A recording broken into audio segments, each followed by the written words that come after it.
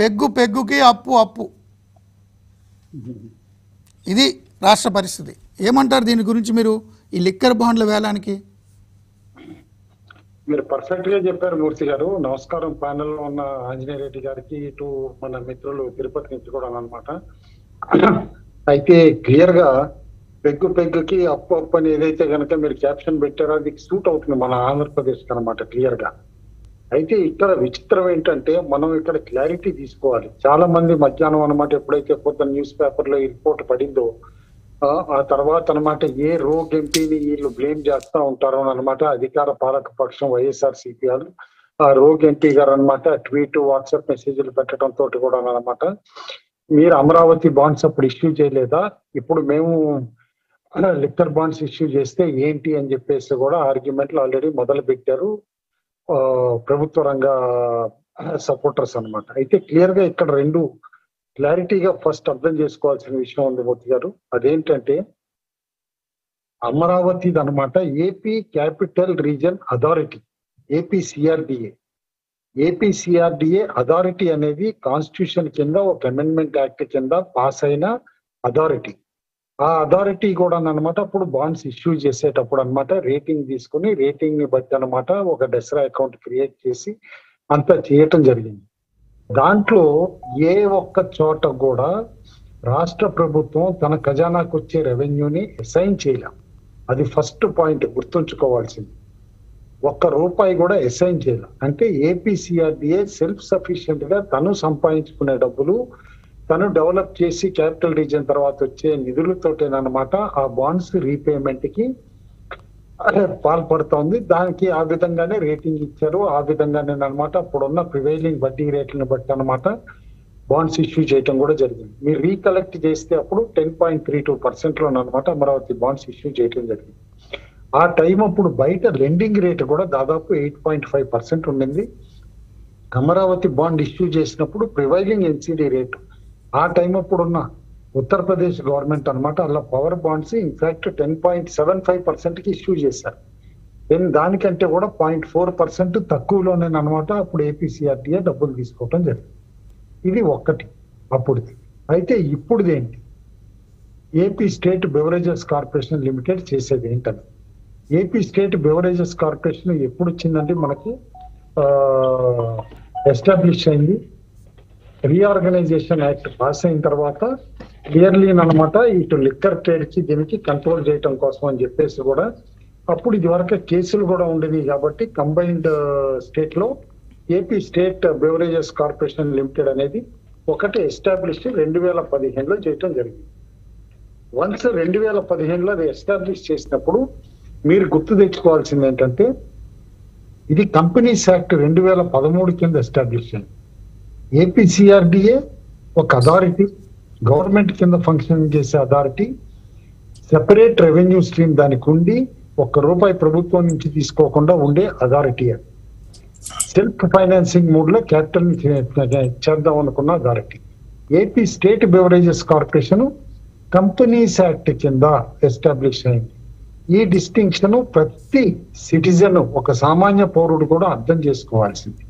ఎందుకంటే ఇది అర్థం చేసుకోవాల్సింది కంపెనీస్ యాక్ట్ కింద ఒక కంపెనీ పెట్టిన తర్వాత అది ఏ ఇష్యూ ఏ బాండ్స్ ఇష్యూ చేయాలన్నా ఏది చేయాలన్నా దాని వనరులు ఏ విధంగా ఉన్నాయి అనేది చూసే అప్పిచ్చాలు ఇస్తారు. అయితే ఇక్కడే తిరకాసు అనమాట ప్రభుత్వం చేసింది ఏంటి? రెండు వేల ఇరవై రెండులోనే ఈ సంవత్సరంలోనే ఫిబ్రవరిలో ఒక జీవో పాస్ చేసింది. నైన్ ఆఫ్ ట్వంటీ టూ అని పాస్ చేసింది. ఈ నైన్ ఆఫ్ ట్వంటీ టూ కింద పాస్ చేసి ఏం చేశాడు? Special margin it shall be competent for the government to prescribe the rates of trade margin or special margin which shall be collected by the corporation during the course of its business and sale of liquor to retail consumers and other licenses అంటే ఏంటి? ప్రభుత్వ ఖజానాకి రావాల్సిన డబ్బులు ఇండైరెక్ట్గా ఈ కార్పొరేషన్కి special margin కింద assign చేసేసి ఈ యాక్ట్ పాస్ చేసింది. నైన్ ఆఫ్ ట్వంటీ టూ దీనిపైన ఇమీడియట్గా ఆంధ్రప్రదేశ్ హైకోర్టులో కేసు కూడా ఇవ్వటం జరిగింది. అయితే కోర్టు నోటీసులు కూడా ఆర్డర్ ఇచ్చి కౌంటర్లు ఫైల్ చేయమని ప్రభుత్వాన్ని అడిగింది. ఇష్యూ ఇంకా పెండింగ్ ఉంది. గుర్తుంచుకోండి. ఐ థింక్ వచ్చే వారమో ఎప్పుడో ఆర్ ఆ నెక్స్ట్ టూ వీక్స్ లోనో ఈ కేసు లిస్టింగ్ uh, హీరింగ్ వస్తుంది. ఇప్పటి వరకు కౌంటర్లు ఫైల్ చేయలేదు కాబట్టి అప్పుడు ఫైల్ చేస్తారని హోప్ఫుల్లీ అనుకుందాం. అయితే ఈ లోపల ఆంధ్రప్రదేశ్ ప్రభుత్వం చేసిన ఫ్రాడ్ ఏంటో ఇక్కడ అర్థం చేసుకోండి.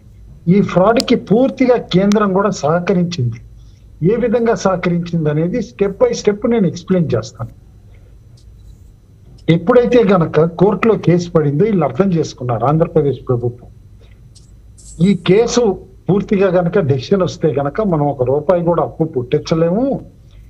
ఈ ఇష్యూని మనం మరుగున పెట్టి చెప్పకుండా మనం బాండ్లు ఇష్యూ చేసేసి ఫస్ట్ ఎందుకంటే ఇది కార్పొరేషనే కదా కంపెనీస్ యాక్ట్ కింద పెట్టిన కార్పొరేషన్ దీనికి ఒక రెవెన్యూ క్రియేట్ చేశాము స్పెషల్ మార్జిన్ కింద. కాబట్టి ఆ డబ్బులు ఎట్లానో లిక్కర్ అవుట్లెట్స్ సేల్ ద్వారా వస్తాయి. ఆ డబ్బుల్ని చూపించేసి ఒక బాండ్ ఇష్యూ చేసేసి లేపేద్దాం అని చెప్పేసి అని ఇమ్మీడియట్గా ఏం చేశారు? ఒక మర్చెంట్ బ్యాంకర్ని అపాయింట్ చేశారు. ట్రస్ట్ ఇన్వెస్టర్ ఏదో దాన్ని సెలెక్ట్ చేశారు. చేసి ఇమీడియట్గా అనమాట నాన్ కన్వర్టబుల్ డిబెంచర్స్ అనేది ఇష్యూ చేయడానికి దాదాపు మినిమం రెండు వేల కోట్లు కావాలి. ఓవర్ సబ్స్క్రిప్షన్ వస్తే కనుక మేము కలెక్ట్ చేసుకుంటాం అని చెప్పేసి దానికే వాస్తే benchmark seven and half అన్నారు. సెవెన్ అండ్ హాఫ్కి రాదని తెలుసు.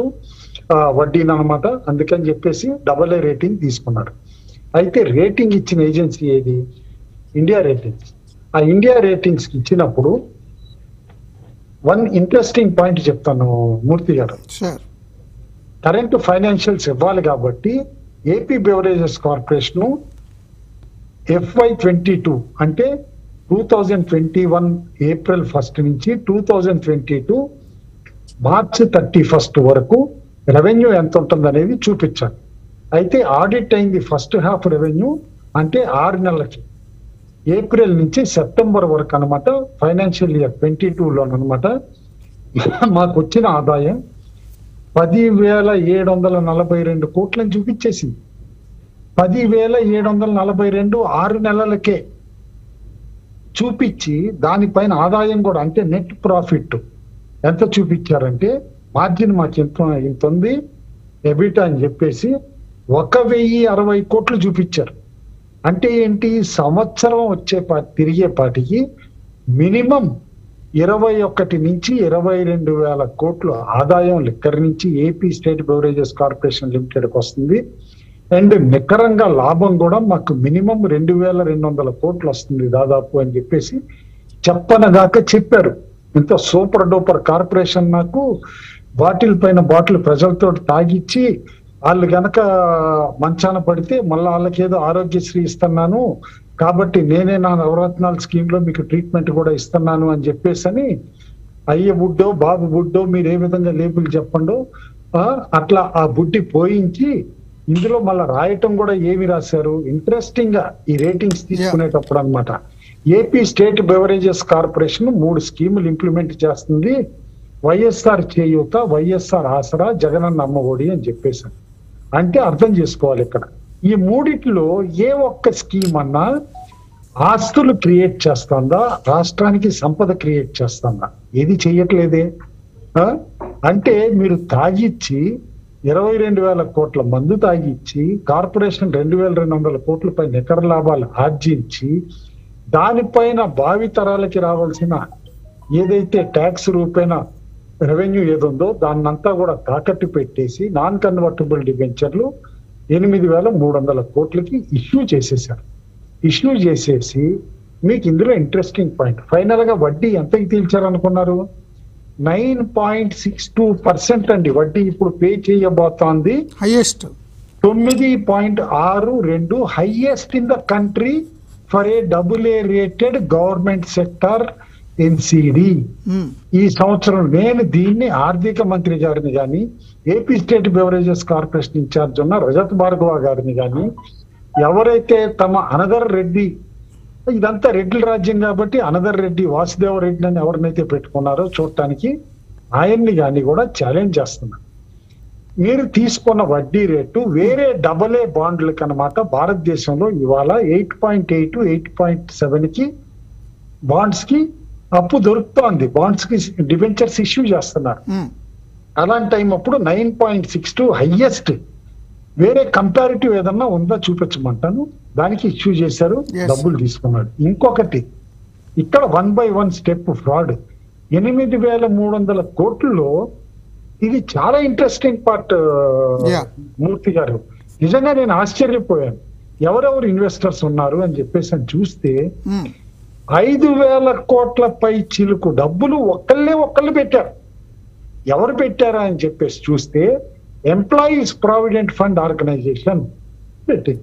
ఎంప్లాయీస్ ప్రావిడెంట్ ఫండ్ ఆర్గనైజేషన్ ఎవరిదండి? Ministry of labour and employment government of India officers ఎక్కువగా ఫైనాన్స్ మినిస్ట్రీ నుంచి వచ్చే ఈ ప్రావిడెంట్ ఫండ్ డబ్బులు ఏ వస్తాయో ఆ డబ్బుల్ని మేనేజ్ చేస్తూ ఉంటారు. అంటే ఎంప్లాయీస్ కష్టపడి పనిచేస్తా వాళ్ళు దాచుకున్న సేవింగ్స్ ప్రావిడెంట్ ఫండ్ ఏదైతే ఉంటుందో కేంద్రం దగ్గర ఈపీఎఫ్ఓ దగ్గర ఆ డబ్బులు కూడా అప్పుల ఊబిలో కూరుకుపోయిన ఆంధ్రప్రదేశ్ ప్రభుత్వం అలాంటి ప్రభుత్వము దొంగ రూపేణ ఒక కార్పొరేషన్ ద్వారా అప్పు తీసుకుంటానికి చూస్తే దాంట్లో డబ్బులు పెడతారండి. ఇది ఎక్కడ Yeah. ఇదండి? అన్యాయం అండి? ఒక పక్కన సరే పెట్టారే అనుకుందాం. ఈ మధ్య ఎప్పుడో కాదు మే ఆరో తారీఖు ఈ సంవత్సరం నా దగ్గర ప్రతి దానికి ప్రూఫ్ ఉందండి. ఈపీఎఫ్ఓ పెట్టిన దగ్గర నుంచి వడ్డీ రేట్ దగ్గర నుంచి మర్చెంట్ బ్యాంకర్ అపాయింట్మెంట్ దగ్గర నుంచి ఎవ్రీథింగ్ కలెక్ట్ చేసే డేటా కష్టపడి ఫుల్ డే స్పెండ్ చేసి కూడా. ఆరు ఐదు అంటే మేలో మే ఆరో తారీఖు నాడు ఆడిటర్ జనరల్ ఇది అకౌంటెంట్ జనరల్ అన్నమాట సిఏజీ ఏపీ పంపించిన ఉత్తర్వులో ఏమి రాస్తారండి? ఆంధ్రప్రదేశ్ ప్రభుత్వానికి ఫిఫ్టీన్త్ ఫైనాన్స్ కమిషన్ రికమెండేషన్స్ ప్రకారం ఏదైతే మీరు కమిటెడ్ ఎక్స్పెండిచర్ ఇవన్నీ కూడా అగ్మెంటెడ్ బారోయింగ్ స్పేస్లో ఏదైతే చేస్తున్నారో without resorting to off budget or any non transparent means of financing for any expenditure మాకు పంపించాలి. అని చెప్పేసి అని చెప్పారు. ఇది ఆరు మే సిక్స్త్ మే నాడు ఇచ్చిన లెటర్. అందులో ఒక కాలం కూడా ఇచ్చారు ఇచ్చి amount of loan raised by the PSU and backed by government guarantee అని చెప్పేసి కూడా కాలం పెట్టారు ఇమీడియట్గా ఈ ఉత్తరం కూడా ఉంది కదా వీళ్ళ దగ్గర. సరే ఇప్పుడు బాండ్లు ఎన్సీడీ ఇష్యూ చేశారు కదా. పోనీ మెన్షన్ చేస్తారో లేదో అసలు గవర్నమెంట్ గ్యారంటీ ఇచ్చిందో లేదో అని చెప్పేసి అని అప్పుడు ఎన్సీడీ కండిషన్స్ అన్ని చూశారు. ఎన్సీడీ కండిషన్స్ చూస్తే నిజంగా ఆశ్చర్యపోతారు. ఎంత ఆశ్చర్యపోతారంటే అంత ఆశ్చర్యపోతారు. ఎందుకంటే పాలసీ అండ్ కన్జంప్షన్ రిస్క్ అని ప్రతి గవర్నమెంట్ కార్పొరేషన్ పైన పాలసీలు మారితే ఏ విధంగా రిస్క్ ఉంటుందనేది రాస్తారు. అయితే క్లియర్గా ఇందులో రాశారు అనమాట ఏమని రాశారు? Although the possibility of prohibition by future government cannot be ruled out altogether government of Andhra Pradesh has given unconditional and irrevocable undertaking అది. ఫర్ ద ట్రాన్సాక్షన్ అంటే మేము ఫ్యూచర్లో ఏ ప్రాహిబిషన్ పెట్టం ఏ పాలసీ చేంజ్ చెయ్యం ఈ ఫెటాల్ అట్లా చేంజ్ చెయ్య చేస్తే గనక ఈ డబ్బులన్నీ ఇమ్మీడియట్గా ఉన్న పల్లాన మేము ఇచ్చేస్తాం అన్నట్టు ఒక గ్యారంటీ కూడా ఇచ్చేశారు సో సంపూర్ణ మద్య నిషేధం. దశల వారీ మద్య నిషేధం అని చెప్పి అలా అమలు చేయకపోతే ఓటు అడగడానికి రామని చెప్పిన వైసీపీ ప్రభుత్వం భవిష్యత్తులో వచ్చే ఏ ప్రభుత్వం కూడా మద్య నిషేధం అమలు చేయకుండా ఉండడానికి అండర్టేకింగ్ ఇచ్చింది. ఇచ్చేసింది. మరి మద్య వ్యతిరేక కమిటీలు ఇవన్నీ ఎందుకు ఇంకా? ఇంకా ఆంధ్రప్రదేశ్లో మీకు మద్య నిషేధం అనేది లేదు. భవిష్యత్తులో కూడా ఆ, అని చెప్పను కాబట్టి చెప్పేశారు. ఇంకొకటి కూడా చెప్తాను. వెరీ ఇంట్రెస్టింగ్ ఫ్యాక్టర్ అదేంటంటే కన్జ్యూమర్ బిహేవియర్ మారచ్చు could change over time resulting in lower consumption of alcohol leading to inadequate cash flows or debt payment. అయితే we're assuring even for this ఒకవేళ ఎవరైనా మందు తగ్గడం మానినా కూడా మందు తాగడం కొంచెం తగ్గించినా. తగ్గించినా కూడా మీకు రెవెన్యూ మీకు అప్పు ఏదైతే తీసుకున్నామో దాన్ని కట్టడానికి ఏమీ బాధ లేదు. రేట్లు పెంచుతాము మద్య నిషేధాన్ని పెంపొందించుతాము మీ డబ్బులు మీకు కడతామని చెప్పేసి అని ఫుల్ ఫ్లెడ్జ్డ్గా అండర్టేకింగ్ ఇచ్చేసి మద్య మద్యంతో మద్యంతో దారుణానుబంధం అది. చిన్న బ్రేక్ తీసుకుందాం సార్ బ్రేక్ తర్వాత డిస్కషన్ కంటిన్యూ చేద్దాం.